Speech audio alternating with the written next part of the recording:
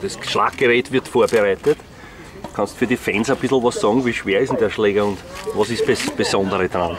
Ähm, der Schläger hat, glaube ich, 295 Gramm. Und ja, kriegt extreme Kontrolle und eine extreme Power raus. Super, Na, dann werden wir schauen jetzt, wie es geht. Da kommt schon der Raimund, spät aber doch. Immer zu spät, die Rapid-Viertelstunde, aber jetzt ist er ja da. Du wirst du sehen, je weiter nach hinten kommt, umso mehr ist er oft. Und das möchte ich, dass das alles, dass das alles wirklich top ist.